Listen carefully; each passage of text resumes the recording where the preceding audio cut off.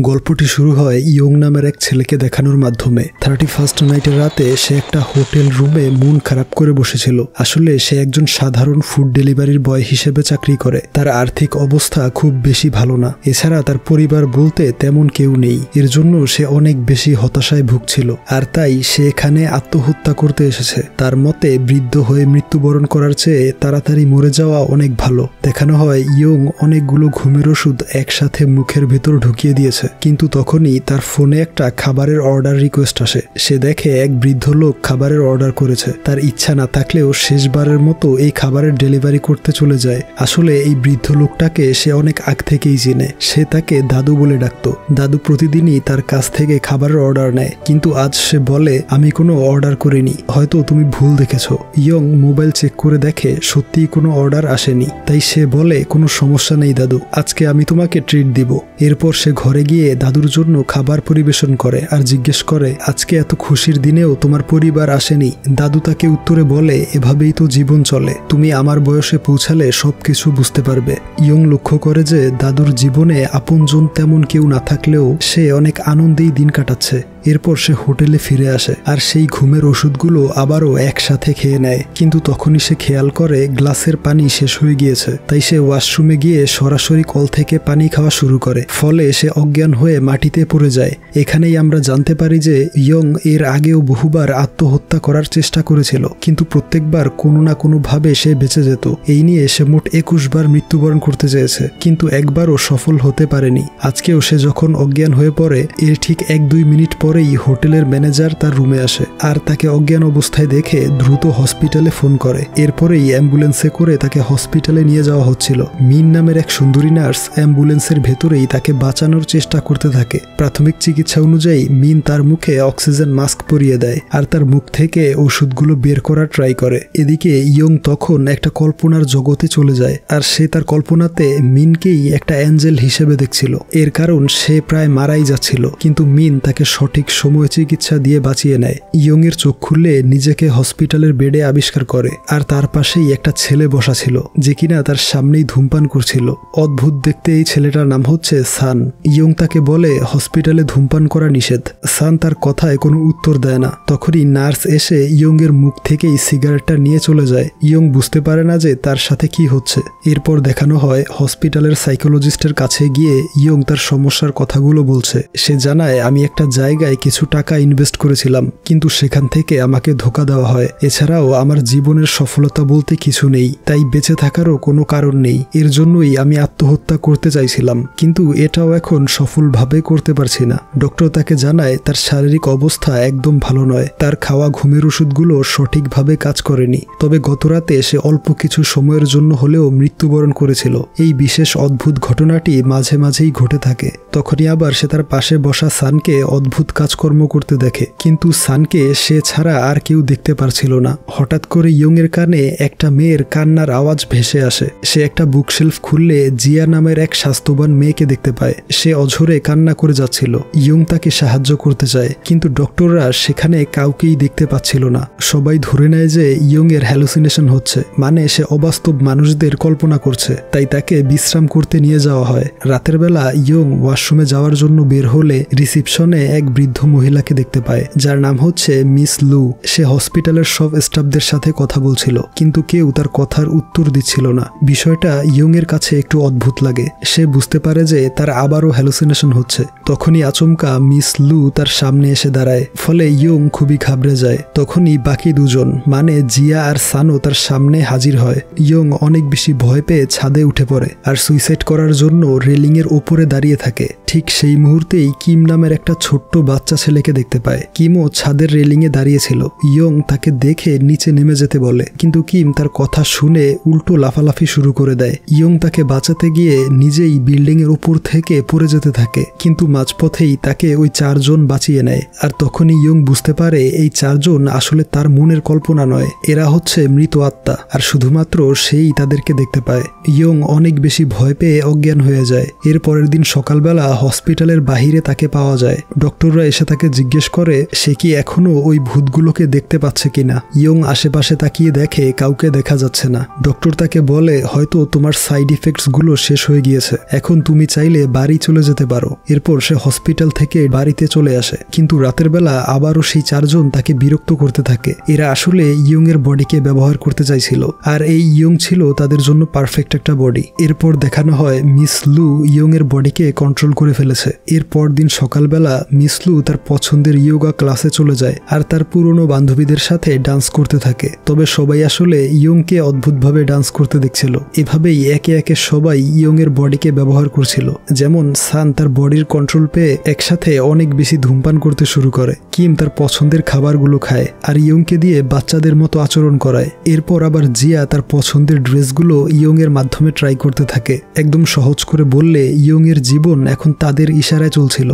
এসব কিছু থেকে বাঁচার জন্য ইয়ং এক জাদুকর মহিলার সাথে দেখা করতে যায়। সেই জাদুকর তাকে জানায়, মানুষের কিছু শেষ ইচ্ছা থাকে। সেগুলো পূরণ না হলে তারা মুক্তি পায় না। যতক্ষণ না তাদের ইচ্ছে পূরণ হচ্ছে, ততক্ষণ পর্যন্ত তোমার পিছু ছাড়বে না। আবার তোমাকে আত্মহত্যাও করতে দিবে না। তবে এরা আসলে কোনো ক্ষতি করে না। সে আরও জানায়, ইয়ং যদি কোনোভাবে তাদের কাছ থেকে রক্ষা পায়, তাহলে আগামী একশো বিশ বছর পর্যন্ত সে বেঁচে থাকতে পারবে। এগুলো শুনে ইয়ং এর মন আরও বেশি খারাপ হয়ে যায়, কারণ সে এত বছর বাঁচতে চায় না। আবার এদের সাথেও থাকতে চাইছিল না। এরপর সে বাড়ির দিকে রওনা হয়। তখনই সেই চারজন আবারও তাকে ফলো করতে শুরু করে। ফলে সে রাগান্বিত হয়ে তাদেরকে অনেক কথা শুনিয়ে দেয়, কিন্তু এতে কোনো লাভ হয় না। উল্টো সবাই তার উপরে উঠে বসে পড়ে। ইয়ং এরপর খুবই অদ্ভুতভাবে তাদেরকে টেনে টেনে বাড়ির দিকে যেতে থাকে। বিষয়টা খুবই ফানি ছিল। তাকে এমন অদ্ভুতভাবে ব্রেক ডান্স করতে দেখে রাস্তার সবাই অনেক হাসাহাসি করে। অপরদিকে মিনকে দেখানো হয় যে কিনা তার ভাই গোয়ের অ্যাপার্টমেন্টে এসেছিল। কিন্তু গো তখন ঘরে ছিল না। তখনই দুজন লোক সেখানে আসে। তারা গুয়ের কাছ থেকে অনেক টাকা পায়। তাই মিনকে হুমকি দেয় যে, যদি তাদের টাকা দ্রুত ফেরত দেয়া না হয়, তাহলে এর পরিণাম ভয়ানক হবে। এদিকে রাতের বেলা ওই চারজন ইয়ং এর ঘরে বসেই ভূতের মুভি দেখছিল। ইয়ং তাদের সামনে গিয়ে বসে পড়ে আর বলতে থাকে, আমাকে দয়া করে আর বিরক্ত করবেন না। আমি এমনিতেই অনেক কষ্টে জীবনযাপন করছি। এর মধ্যে আপনাদের ভার সামলিয়ে আরও বেশি ক্লান্ত হয়ে পড়ি। আপনাদের শেষ ইচ্ছেগুলো আমাকে জানান। আমি সেগুলো পূরণ করার চেষ্টা করব। কিন্তু কথা দিতে হবে। তারপরেই আপনারা এখান থেকে চলে যাবেন। সবাই তার কথায় রাজি হয়। পরদিন মিস লু ইয়ংকে নিয়ে একটা রেস্টুরেন্টে চলে আসে। মাহো নামের এক মহিলা এখানে ইভেন্ট ম্যানেজমেন্ট করে। আজকে একটা বিশেষ ইভেন্ট আছে এখানে। অপরিচিত ছেলেমেয়েরা একে অপরকে ব্লাইন্ড ডেট করতে আসবে। তাদের জন্য একটা সুন্দর অ্যারেঞ্জমেন্ট করে দেওয়া মাহর মেইন কাজ। মিসলু তার সাথে কথা বলার জন্য এগিয়ে যায়, কিন্তু স্বাভাবিকভাবেই মাহো তাকে দেখতে পায় না। সে ইয়ংকে একটা স্পেশাল টেবিলে বসিয়ে দেয় আর বলে, কোনো একটা মেয়ে এসে তোমার টেবিলে বসবে। তুমি একটু অপেক্ষা করো। ইয়ং প্রথমে কিছুই বুঝতে পারছিল না। কিছুক্ষণ পরেই মিন সেই রেস্টুরেন্টে প্রবেশ করে। ইয়ং তাকে দেখে একদম হতবাক হয়ে যায়। তার মনে পড়ে সে মিনকে অ্যাঞ্জেল হিসেবে তার কল্পনাতে দেখেছিল। এদিকে মিন তার ভাইকে মেসেজ করে। আসলে সে একটা ব্লাইন্ড ডেট রেজিস্টার করেছিল তার ভাই গোয়ের জন্য। কিন্তু গো বলে সে আসবে না। তাকেই একটা গুড লাক উইশ করে ডেট সম্পন্ন করতে বলে দেয়। যেহেতু রিফান্ড পাওয়া যাবে না, তাই সে নিজেই ডেট করতে টেবিলে বসে পড়ে। আর সে ইয়ংকে চিনতে পারে। সে জানায়, ওই রাতে সে তাকে অক্সিজেন দিয়ে বাঁচিয়েছিল। এরপর তারা গল্প গুজব শুরু করে। তবে ইয়ং একটু নার্ভাস ফিল করছিল। যে কারণে সান তার ভেতরে প্রবেশ করে। আর মিনের সাথে ফ্লার্টিং করার ট্রাই করতে থাকে কিন্তু মিন এতে একদমই ইমপ্রেস হয় না। এরপর জিয়া তার দেহের কন্ট্রোল নেয়। এর ফলে ইয়ং মেয়েদের মতো করে মিনের সাথে কথা বলছিল। তাই মিন খুবই আনইজি ফিল করে।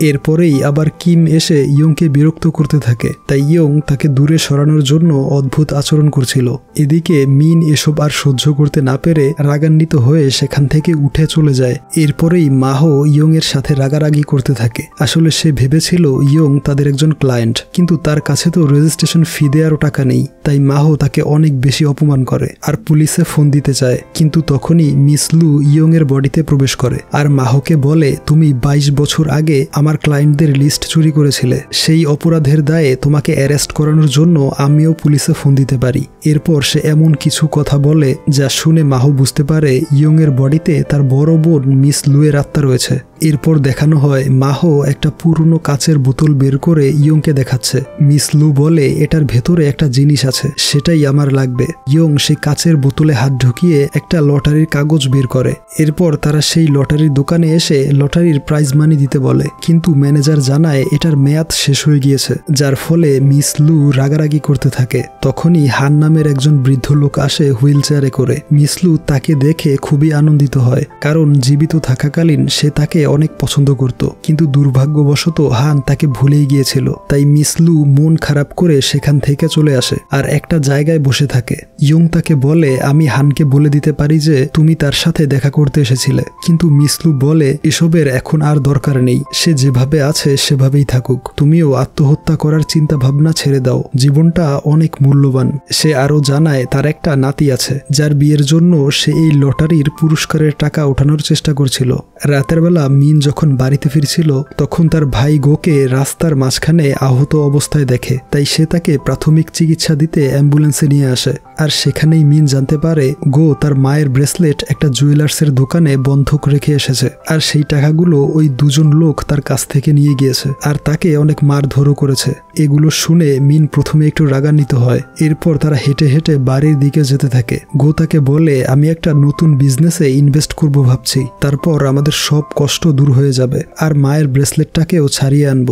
এরপর দেখানো হয়, তারা দুজন খুনসুটিময় ফান করছে। মিন মায়ের মতো এই গোকে আদর যত্ন করত। এদিকে গো তাকে খুবই স্নেহ করত। এর পরের দিন সকালবেলা কিমের ইচ্ছে পূরণ করার জন্য ইয়ং একটা পার্কে আসে। কিন্তু তার কাছে বেশি টাকা না থাকায় অল্প কয়েকটা রাইড এনজয় করে। তাদের সাথে জিয়া, সান আর মিস লুও অনেক মজা করছিল। এরপর কিম পার্কের ভেতরে নিয়ে আসে ইয়ংকে। সেখানে একটা গেম তার খুব পছন্দ। আর সে সব ধরনের গিফট উইন করতে চায়। তখনই আবার ইয়ং দেখতে পায় একটা বাচ্চা ছেলে অতিরিক্ত গরমের কারণে অজ্ঞান হয়ে গিয়েছে। তাই সে দ্রুত তার জ্ঞান ফেরানোর চেষ্টা করে। সে বাচ্চা ছেলেটার চোখে মুখে পানি ছিটিয়ে দেয়। ফলে তার জ্ঞান ফিরে আসে। ঠিক সেই মুহূর্তে মিনও সেখান দিয়ে যাচ্ছিল আর সে মিনকে এই বাচ্চা ছেলেটাকে হেল্প করতে দেখে খুবই ইমপ্রেস হয়। এরপর দেখানো হয় মিন তার ভাইয়ের সাথে ডিনার করছে। গো, তার জন্য নতুন জুতো গিফট হিসেবে নিয়ে আসে। তবে এর টাকা সে মিনের কাছ থেকেই নেয়। মিন এরপর সেই ঘড়িটা বের করে দেখতে থাকে। মানে সে ইয়ংকে পছন্দ করতে শুরু করেছে।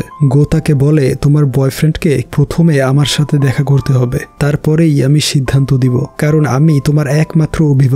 এই নিয়ে তাদের মধ্যে গল্পগুজব হতে থাকে। এরপর দিন সান তার শেষ ইচ্ছে পূরণ করতে ইয়ংকে একটা বিশাল গ্যারেজে নিয়ে আসে। তার শেষ ইচ্ছে ছিল একটা বিশেষ ট্যাক্সিতে বসে ধূমপান করা। যেহেতু সেখানে গার্ডরা পাহারা দেয়, তাই রাতের অন্ধকারে ইয়ং চুপি চুপি সেই বিশেষ ট্যাক্সিটা খুঁজতে থাকে। এদিকে বাকি চারজন মজা করার জন্য তাকে ভয় দেখাতে যায়। অনেক খোঁজাখুঁজির পর অবশেষে গাড়িটা খুঁজে পায়। সে ওই গাড়ির ভেতর ঢুকে পড়ে আর সানকে তার শেষ ইচ্ছে পূরণ করতে বলে। কিন্তু সান কোনো এক কারণে খুবই মন খারাপ করে দাঁড়িয়েছিল তাই ইয়ং একটা সিগারেট ধরিয়ে সেটা গাড়ির ভেতরে রেখে দেয় আর এরপরেই সান ভেতরে এসে ধূমপান করতে থাকে। তখনই আবার একজন গার্ড তাদেরকে দেখে ফেলে। গাড়ির স্টিয়ারিং এ সান বসেছিল। সে দ্রুত গাড়িটাকে স্টার্ট করে পালাতে শুরু করে। ওই গার্ডও তাদের পিছু নেয়। এক পর্যায়ে সানদের সামনে যাওয়ার আর কোনো রাস্তা থাকে না। ততক্ষণে ওই গার্ডও চলে এসেছিল। সে একটা লাঠি নিয়ে বের হয় আর ইয়ংকে মারার জন্য এগিয়ে আসতে থাকে। ইয়ং খুবই ঘাবড়ে যাচ্ছিল। গার্ড এসে যখন মারতে যাবে, ঠিক তখনই সে জানতে পারে ওই ট্যাক্সির ইঞ্জিন একদম অকেজো হয়ে গিয়েছে। চেক করে দেখে সত্যি গাড়ির ইঞ্জিন কাজ করছে না। এদিকে সান্তাকে আরও বেশি ভয় দেখাতে শুরু করে। তারপর এক এক করে কিম, মিসলু আর জিয়াও তাকে অনেক বেশি ভয় দেখায়। তারা এক বিশাল ঘূর্ণিঝড় সৃষ্টি করে ওই গার্ডকে ভয় দেখানোর জন্য। ভয় দেখানোর এই কলাকৌশল তারা মুভি দেখে শিখেছিল।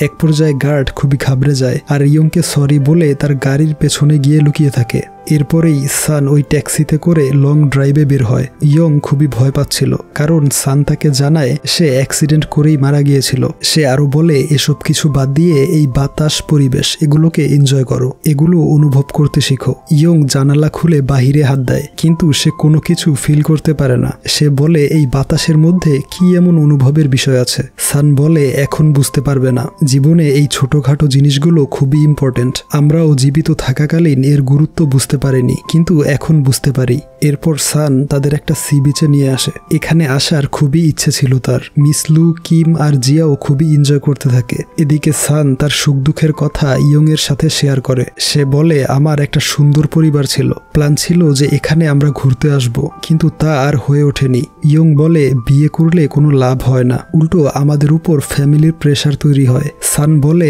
অবশ্যই প্রেশার থাকবে। আসলে জীবনটাই প্রেশারের মধ্যে কাটাতে হয়। কিন্তু কিন্তু পরিবার থাকলে সেই প্রেশার ভাগাভাগি হয়ে যায়। আপনজনরা সব দুঃখ কষ্ট ভাগ করে নেয়। এর জন্যই একটা পরিবার খুবই দরকার। এরপর সে জোর করে ইয়ংকে সুইমিং করাতে নিয়ে যায়। প্রথমে ইয়ং মানা করে, কারণ সে সাঁতার জানে না। তবে সান তাকে সাঁতার কাটা শেখায়। এরপর ইয়ংও এই মুহূর্তটাকে খুবই এনজয় করতে শুরু করে। সন্ধ্যায় বাড়ি ফেরার সময় ইয়ং এবার তার হাতটা বের করে বাতাসের ফিল নিতে থাকে। সে এখন বেঁচে থাকার জন্য কিছুটা হলেও মোটিভেট হয়েছে। কিন্তু তখনই আবার এক পুলিশ অফিসার স্পিডে গাড়ি চালানোর জন্য তাদেরকে থামিয়ে দেয় আর ইয়ংকে থানায় নিয়ে আসা হয়। সান তার লাইসেন্স নম্বরটা অফিসারকে বলছিল। কিন্তু অফিস অফিসার চেক করে দেখে লাইসেন্সের লোকটা অনেক আগেই মারা গিয়েছে। সান এরপর ইয়ং এর বডিতে প্রবেশ করে অফিসারকে উল্টাপাল্টা কথা বলতে থাকে আর অদ্ভুত আচরণ করতে শুরু করে। অফিসার ভাবে তার মাথায় সমস্যা আছে, তাই সে ইয়ং এর পরিবারের কাউকে এসে তাকে নিয়ে যেতে বলে। কিন্তু ইয়ং জানায় তার কোনো পরিবার নেই। অফিসার বলে ওঠে, তাহলে কোনো বন্ধুকে আসতে বলো। এরপর ইয়ং কোনো উপায় না পেয়ে মিনকে ফোন করে। মিন আসা অবধি তারা সেখানেই অপেক্ষা করছিল। আর জিয়াদের সাথে সে তার কষ্টের কথাগুলো শেয়ার করে। সে বলে, আমি আত্মহত্যা করতে চাই কারণ আমি ছোটবেলা থেকেই একদম একা। আমার ছবিগুলোতে আমার পাশে কেউ থাকে না। পরিবারের কথাও আমার কিছু মনে নেই। রাতের বেলা ডিনারের সময়ও একদম একা হয়ে থাকি। বাড়িতে কেউ আমার জন্য অপেক্ষা করে না। আমাকে পছন্দ করার মতো কোনো মানুষ নেই। এর জন্যই আমি সুইসাইড করতে চাই।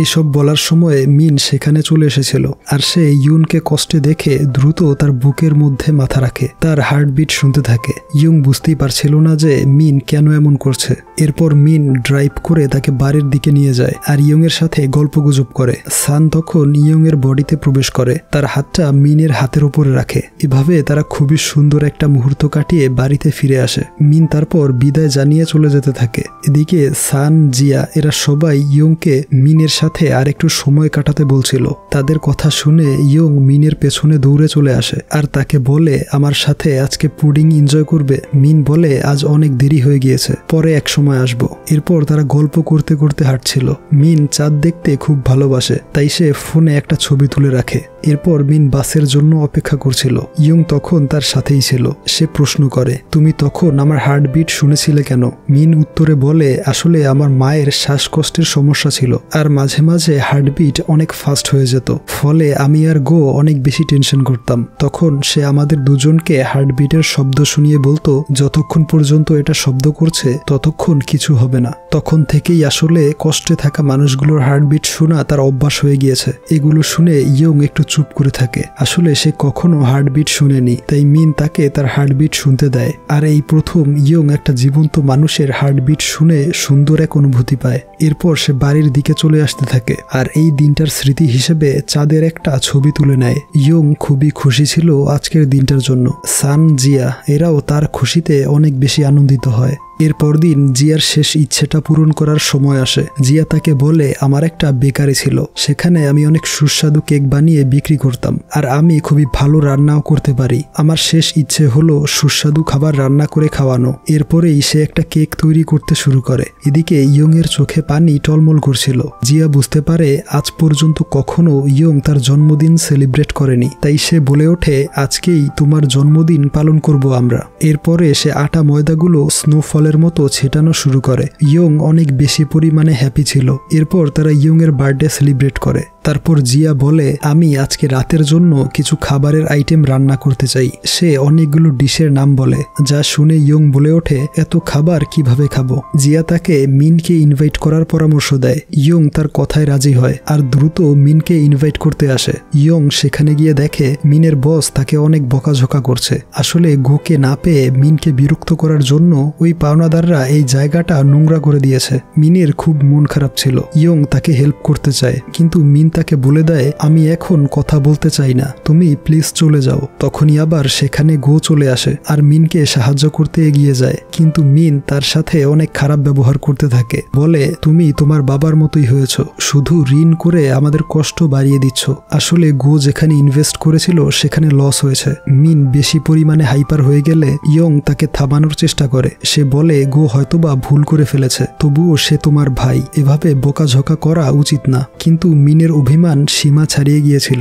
সে বলে ওঠে, তুমি আমাদের বিষয়ে কথা বলতে এসো না। এমনিতেও তোমার কোনো পরিবার নেই। পরিবারের যন্ত্রণা তুমি বুঝতে পারবে না। এই বলে সে চলে যায়। এদিকে ইয়ং খুবই মন খারাপ করে বাড়িতে ফিরে আসে আর ওয়াশরুমে চুপ করে দাঁড়িয়ে ওই চাঁদের ছবিটা দেখতে থাকে। এদিকে বাহির থেকে কিম মিসলু সবাই তার পরিস্থিতিটা বোঝার ট্রাই করছিল। অপরদিকে দেখানো হয়, মিনকে তার বস এসে বলছে, তোমার ভাই এখন বাহিরে দাঁড়িয়ে আছে সরি বলার জন্য। কিন্তু মিন তার সাথে দেখা করতে যায় না। এতে গো মন খারাপ করে সেখান থেকে চলে আসে। সে মিনকে মেসেজে সরি লিখে পাঠাতে যাবে। তখনই কয়েকজন পাওনাদার তার পিছু নেয় এবং তাকে ছুরি দিয়ে আঘাত করে মেরে ফেলে। এর কিছুক্ষণ পর ইয়ং দেখতে পায় তার সাথে কথা বলার জন্য গো এসেছে, যে কিনা এখন মৃত। এরপর দেখানো হয় গোয়ের শেষ বিদায়ের অনুষ্ঠান হচ্ছে। এই ঘটনায় মিন একদম ভেঙে পড়েছিল। ইয়ং তার সাথে কথা বলতে আসে। সে জানায়, তোমার ভাই একটা শেষ মেসেজ দিতে চাইছিল তোমাকে। কিন্তু মিন বলে, আমি এখন কিছুই শুনতে চাই না। আমাকে একা থাকতে দাও। ইয়ং এরপর বাড়িতে ফিরে আসে আর জিয়াকে বলে, চলো, তোমার রান্না করার ইচ্ছাটা পূরণ করে ফেলি। এরপর জিয়া তাকে বাজারে নিয়ে আসে। তার পছন্দ অনুযায়ী কিছু সবজি আর মাছ কিনতে বলে। তবে সেখান থেকে আসার সময় জিয়া একটা বিশেষ সবজির দিকে তাকিয়েছিল। ইয়ং সেটাও কিনে নেয়। বাড়ি ফিরে জিয়া তাকে দিয়ে এক বিশেষ ধরনের পুডিং তৈরি করতে থাকে। হঠাৎ করে ইয়ং এর মনে হয়, সে এই খাবারের আইটেমটা আগেও খেয়েছে। কিন্তু কোথায় খেয়েছে সেটা তার মনে নেই। রাতের বেলা সবাই একসাথে ডিনার করতে বসে। সবাই এক এক করে ইয়ংকে খাবার সার্ভ করে দিচ্ছিল। আর কোন খাবার খেলে কি উপকার হয় সেটাও বলছিল। যদিও এরা জীবিত নয়, তবুও ইয়ং খুবই খুশি হয়ে যাচ্ছিল একসাথে ডিনার করতে পেরে। তখনই তাদের দরজায় কেউ একজন আসে। দরজা খুলে দেখতে পায় মিন তার কাছে গোয়ের শেষ মেসেজটা জানতে এসেছে। ইয়ং তাকে প্রথমে ডিনারের জন্য ইনভাইট করে। মিনের মন কিছুটা শান্ত হওয়াতে খাবারের জন্য টেবিলে বসে। এরপর ইয়ং তার জন্য খাবার পরিবেশন করে। মিন দেখে তাদের আশেপাশে আরও কয়েকটা চেয়ার খালি পড়ে আছে, তাই সে জিজ্ঞেস করে, আর কেউ আসবে কিনা? এর উত্তরে ইয়ং সত্য কথা জানিয়ে দেয় যে, সে মৃত মানুষদের দেখতে পায়, আর বর্তমানে তারাই এখানে বসে আছে। এরপর সে বলতে থাকে, গো তাকে সরি বলার চেষ্টা করেছিল। সে আরও বলতে চাইছিল, তুমি নিজের খেয়াল রাখবে। গো এটাও বলেছিল যে সে তার মায়ের শেষ কথাটা রাখতে পারেনি। আসলে তার মা মৃত্যুবরণ করার আগে মিনের দায়িত্ব গোয়ের কাঁধে তুলে দিয়েছিল। কিন্তু গো আসলে সেভাবে তার জন্য কিছুই করতে পারেনি। এর ফলে সে অনেক বেশি দুঃখী ছিল। তবে ইয়ং বলে, গো জানিয়েছে যে তুমি যাতে অভিমান না করো। এর জন্য সে তোমার মায়ের ব্রেসলেটটাকেও ছাড়িয়ে নিয়েছিল। কিন্তু সেটা দেওয়ার আগেই মারা গিয়েছে।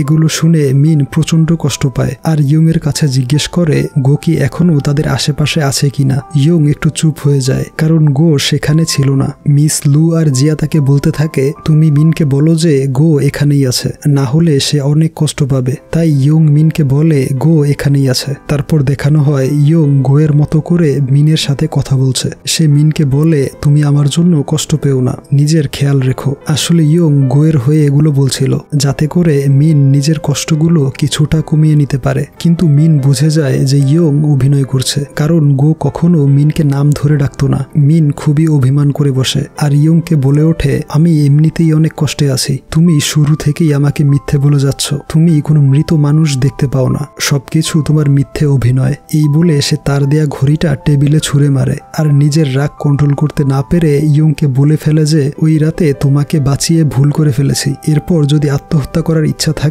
তাহলে করতে পারো। আমি বাঁচাতে আসব না। এই বলে মিন সেখান থেকে চলে যায়। এদিকে এসব কিছু শুনে ইয়ং পুরোপুরি ভেঙে পড়ে। সে এরপর জিয়া মিসলু এদের উপর রাগান্বিত হয়ে যায় আর তাদেরকে বলে, তোমরা আমার জীবনে না আসলেই ভালো হতো। তোমাদের ইচ্ছেগুলো তো পূরণ করে দিয়েছি। এখন আর বিরক্ত করবে না। আগামীকাল যাতে তোমাদের আর না দেখি। এই বলে সে কান্না করতে করতে ঘরে চলে যায়। এদিকে তারা চারজন খুবই মন খারাপ করে বসেছিল। পরদিন সকালবেলা ইয়ং ঘুম থেকে উঠে দেখতে পায় ওই চারজন সেখান থেকে চলে গিয়েছে। এরপর সে ঘরের সবকিছু ডাস্টবিনে ফেলে দিয়ে আসে আর ওই ট্যাক্সিটা বন্ধ করে সেখানে গ্যাস লিক করে দেয়। অর্থাৎ সে আবারও আত্মহত্যার চেষ্টা করছিল। অপরদিকে দেখানো হয়, মিন তার কাজে যাচ্ছে। তখনই জুয়েলার্সের দোকান থেকে তাকে ফোন করা হয়। সে জানতে পারে তার মায়ের ব্রেসলেটটাকে গো আর আপডেট করে একটি নেকলেস তৈরি করেছিল। সে ওই নেকলেসটা নিয়ে আসে। গো তার পছন্দের চাঁদকে ওই নেকলেসের মধ্যে ডিজাইন করিয়েছিল। আর এটা দেখেই সে বুঝতে পারে গতকাল ইয়ং সত্যি কথা বলেছে।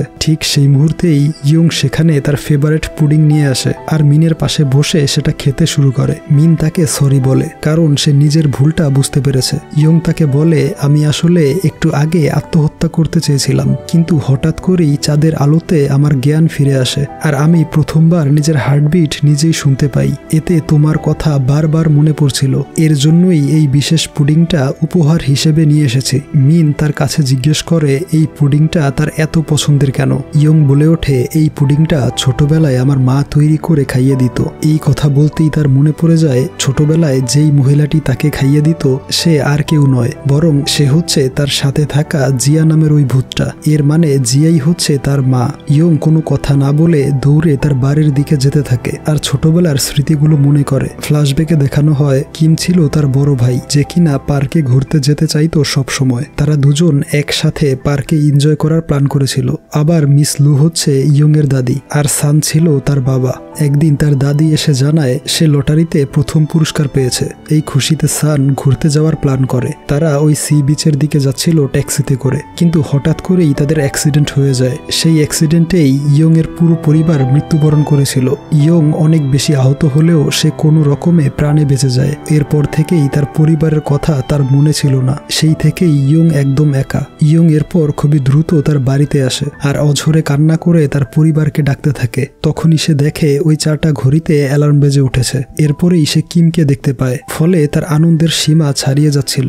তখনই পেছন থেকে দাদি এসে তাকে বলে, তোমাকে শেষ বিদায় না জানিয়ে আমরা যেতে পারছিলাম না। এই শুনে ইয়ং আরও বেশি ইমোশনাল হয়ে পড়ে। এরপর সানু কান্না করতে করতে ইয়ংকে বলে, তুমি এখন বড় হয়েছ, আমরা বেঁচে নেই। তো কি হয়েছে? তোমার বাকি জীবনটা পড়ে আছে। সেটা সুন্দর করে উপভোগ করো। এরপরে ইয়ং তার মাকে দেখতে পায়। সে দৌড়ে গিয়ে তাকে জড়িয়ে ধরে কান্না করতে থাকে। জিয়া তাকে বলে, এতদিন তোমাকে অনেক কষ্টে জীবন কাটাতে হয়েছে, তাই না? কিন্তু এখন থেকে আর কষ্ট হবে না। তুমি এখন বড় হয়ে গিয়েছো। নিজের ভালো মন্দ বুঝতে পারবে। আমরা এখন শান্তিতে পরপারে যেতে পারব। কিন্তু ইয়ং তাদেরকে যেতে মানা করে। জিয়া বলে, এতদিনের সুন্দর স্মৃতিগুলো সব সময় আমাদের কথা মনে করিয়ে দিবে। তোমার হার্টবিটের মধ্যেই আমরা জীবিত থাকব। এরপর দেখানো হয়, ইয়ংকে আসলে এরাই প্রত্যেকবার আত্মহত্যা করা থেকে বাঁচিয়ে নিচ্ছিল। ওই দিন রাতে হোটেল রুমে তারাই খাবারের মিথ্যে অর্ডার করেছিল। এছাড়া যখনই ইয়ং আত্মহত্যা করার চেষ্টা করত, তারাই এসে খুবই কষ্টে তার প্রাণ বাঁচিয়ে নিত। সে দড়িতে ঝুলতে চাইলে জিয়া তার দাঁত দিয়ে কষ্ট করে সেটা কেটে ফেলত। ওই দিন চাঁদের আলোটাও তারাই পৌঁছে দিয়েছিল গাড়ির ভেতরে। এভাবেই তারা ইয়ংকে জীবিত রেখেছে। এসব কিছু জানার পর ইয়ং তাদের সবাইকে জড়িয়ে ধরে অঝরে কান্না করতে থাকে। এর কিছুক্ষণ পর মিন তাদের বাড়িতে আসে। দেখতে পায় ইয়ং মন খারাপ করে বসে আছে। ইয়ং এর পরিবার শেষ ইচ্ছে পূরণ করে পরপারে চলে গিয়েছে। মিন তাকে সান্ত্বনা দেওয়ার জন্য পাশে গিয়ে বসে পড়ে। এভাবেই কয়েক মাস অতিবাহিত হয়। সেই দিনও ছিল থার্টি ফার্স্ট নাইট, বছরের শেষ দিন। তবে এবার ইয়ং একা ছিল না, তার সাথে ছিল মিন। আর সেই বৃদ্ধ লোকটা যাকে ইয়ং দাদু বলে ডাকতো, তারা একসাথে নিউ ইয়ার সেলিব্রেট করছিল। দাদু তাদের দুজনের একটা ছবি তুলে দেয়। আর এরপরেই দেখানো হয় ইয়ং আসলে কখনো একা ছিল না। তার পাশে সব সময় তার পরিবার ছিল, যদিও সে তাদেরকে দেখতে পেত না বা অনুভব করতে পারত না। কিন্তু তার প্রতিটা সুখ দুঃখের দিনে তারা একটা আদর্শ পরিবারের মতো পাশেই ছিল। আর এখানেই এই অসাধারণ মুভিটার সমাপ্তি ঘটে।